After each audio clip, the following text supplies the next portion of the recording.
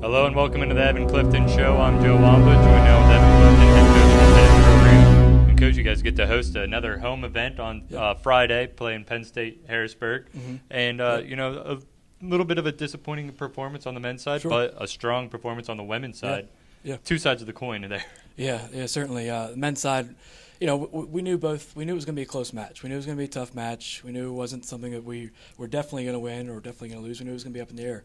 Um, you know, and it really, unfortunately, it, we we lost two and three doubles, and that has sort of been.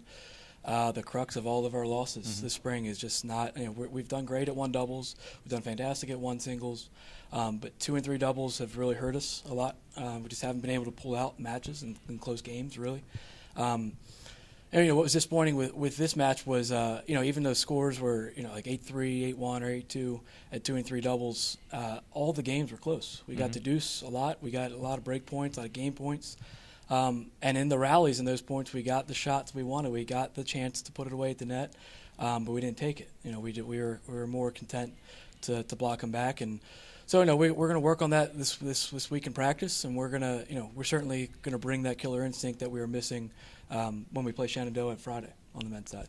Um, the women's side, however, uh, you know, the match was great. I mean, we had.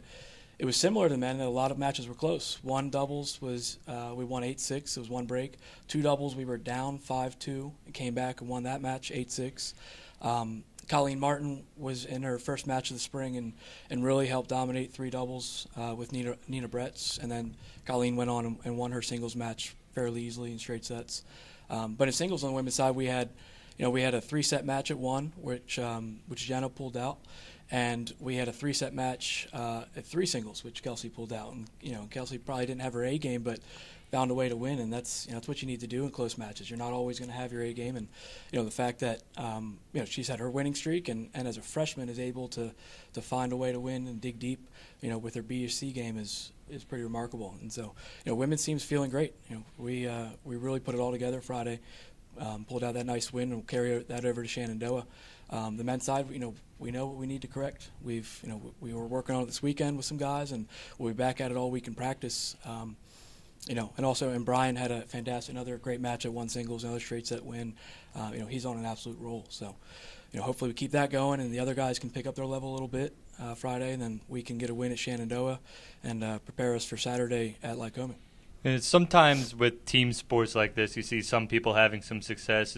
Generally, the women's team would see the men's team having success, but now it's the men team seeing the women. Right. What does that do in terms of motivation Yeah. to get out there, keep working hard, and turn it around? Sure. Yeah, I think that, that definitely adds a little bit of fuel to the fire. You know, makes it you, when you're seeing the other, you're happy.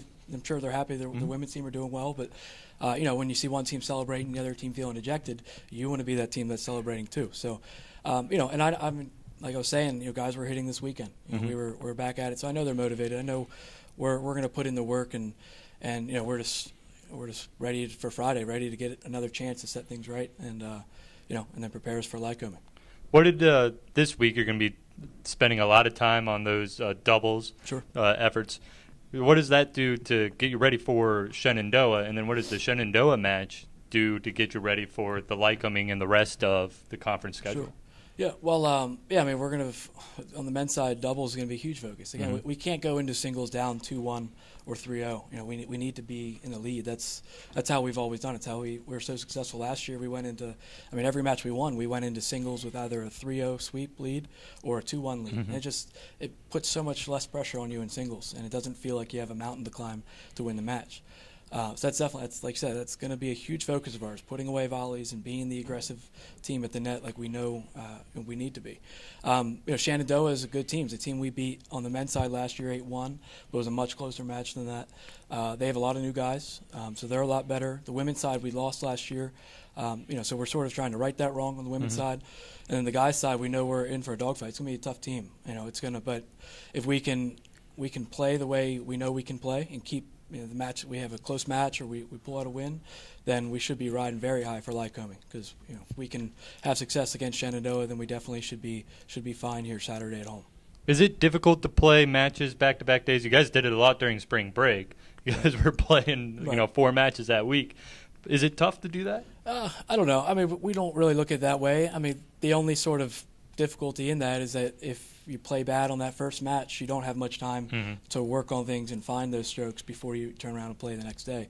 Um, but as far as from a from a physical point, um, no, I, I really don't think it's it's too tough. I mean, a lot a lot of teams sometimes even play two matches in one day, double headers and things. And I mean, you see other sports too. Mhm. Baseball plays double headers. They Mhm. played one Friday, and um, so I mean that's something that you know I, I personally don't think makes too much of a difference, and, and I don't think any of any of my guys or girls approach it that way in a negative way at all.